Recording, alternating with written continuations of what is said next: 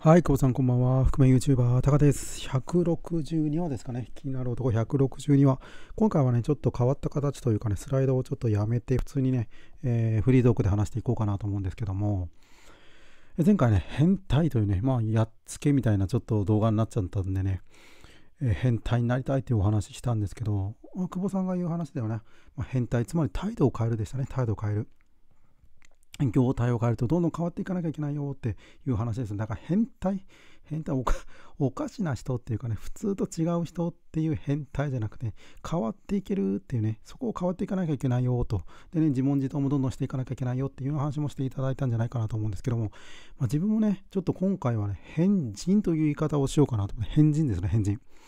で、変人、まあ、YouTube の変人になるためにみたいなね、えー、ことで題名打たせてもらったんですけど、まあ、これね、変な人ではなくてね、変われる人ですね、変われる人。やっぱりこの変われる人になっていかなきゃいけないなと思って、うん、それを最近ちょっと思っていて、やっぱそこが変われる人になっていかないと、結局その、積み重ねても変わらないなと、まあ、変わっていかなきゃ積み重ねる意味もないなっていう感じたんですけど、やっぱりこれ、その、毎日やってることですごい大事だと思うんですけど、毎日やること、毎日続けること、まあ、続けなければ何も、ね、生まないんですけど、そこでどれだけ改善を積み重ねて、重ねられてるか、まあ、そこが重要かなと思っていて、で、自分はやっぱりその、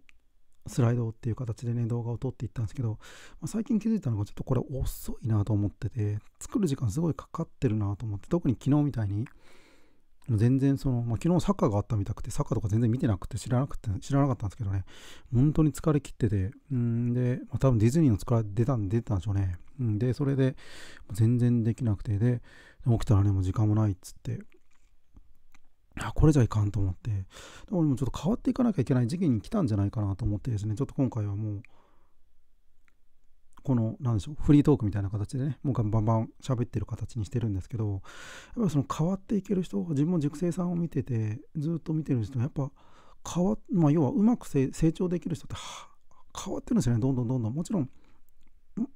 まずはその守るというか徹底してその同じことをやるっていうところなんですけどある時期からしたらもうすごいなんかどんどんどんどん新しいことを自分で取り入れてるんですね。要はそのサポートいらないって感じですね。どんどんどんどん自分でやっていくんでそう考えていくとやっぱすごいなと。あこうやって変化していくんだっていうのを見て自分もあすげえなと。あこうすればいいんだってね、えー、そういうところをすごく感じてああ、なるほどなというところをね、やっぱり顔見ていて、ああ、と思うんですよね。うん、すごいなと思って。だか変われる人っていうのはやっぱりそこで、え、変わっていけるんで新しいことをどんどん吸収してそしてねどんどん変わっていく、まあ、その新しい情報を入れてそれで元の目の前にある情報をさらにこうどんどんどんどん増幅させていくっていうところ。やっぱこれがうまくいく秘訣なんだなっていうのはすごい感じてあすごい。やっぱそれはかなり自分も影響を受けますしその人から話を聞きたいな。なんでそういう思考になったのかとかどういう何を考えてそうなったのかなとか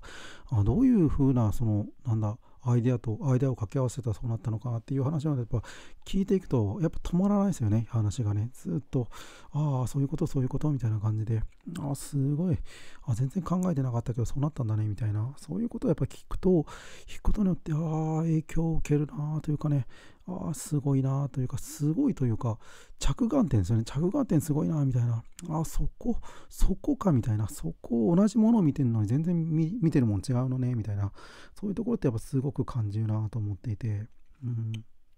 で今回のサンプ、えっ、ー、と、サムネイルですよね、サムネイル。扉は開かれたのかと、閉じられつつあるのかって、これ、本当になんかすごく意味深で、えー、感じたところがあるんですけど、開かれたと思ったけど閉じられるものもあると。だから本当にその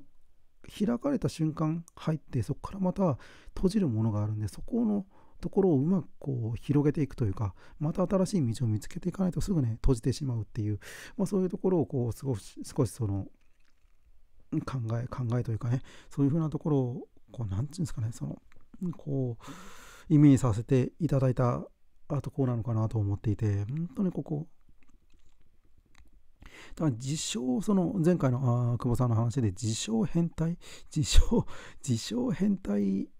だとやっぱ物を売れないですね、自称変態だと。だから本当に真面目なんだけど、その変わっていくというか、どんどんどんどん変化していくっていうところやっぱすごい大事なんじゃないかなと思っていて、うんまあ、同じこと言ってるかもしれないですけどで今回そのズーム対談でやっぱり入りたい入、うん、今回、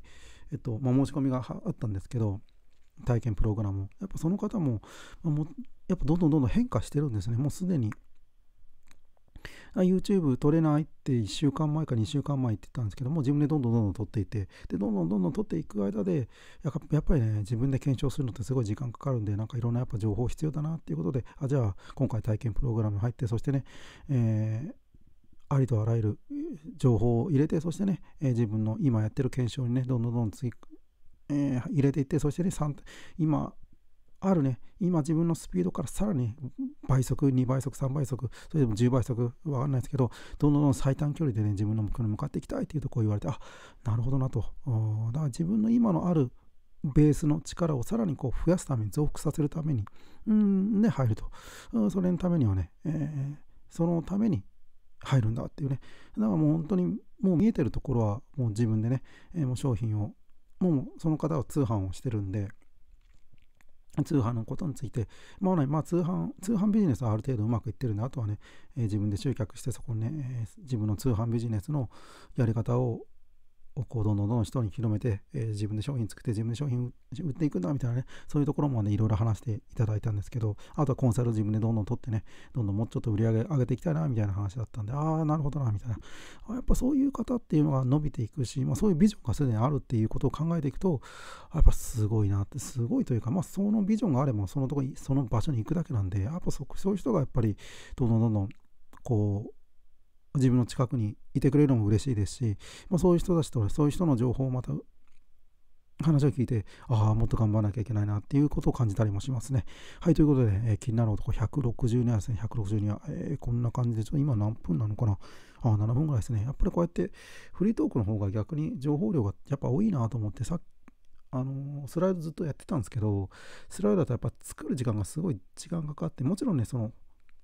そういう見せ方も大事かなと思ったんですけど、ちょっとね、やっぱ久保さんのスピードについていけないですね、これだと。うんなので、やっぱりしっかり情報を受け取って、情報をアウトプットするなら、ちょっとやっぱこのスピードじゃないと、やっぱやっていけないなというのが、特に昨日ですね、昨日やっぱりそこが感じて、あ、全然これ返せてないな、みたいな思って、これいかんなと。で、前はね、スライド動画でしか、その、インプットしてアウトプットできなかったんですけど、ちょっともうこれずっとやってる感じだと、いけんじゃないかなと思って、で、ちょっと今ね、テスト的に今やってるんで、とりあえずこの162話ではね、こんな感じで、え、地球？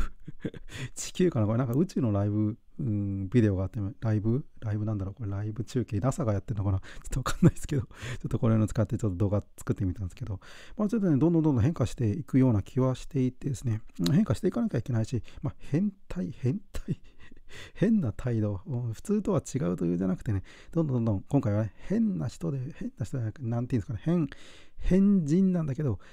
変わっていける人ですね。変わっていける人。こうタイトルしなきゃいけないですね。YouTube の変人になるために。あ、でもこっちの方がタイトルいいかもしれないですね。なので、まあ、変わっていける人、変わっていける人にならなきゃいけないなというところをね、えー、すごくね、感じたので、ちょっと今回動画撮らせていただきました。はい、ということで、162はですね、ちゃんと音入ってればいいなと思いつつ、えー、こんな感じで終わっていこうかと思います。ありがとうございました。福見 YouTuber 高でした。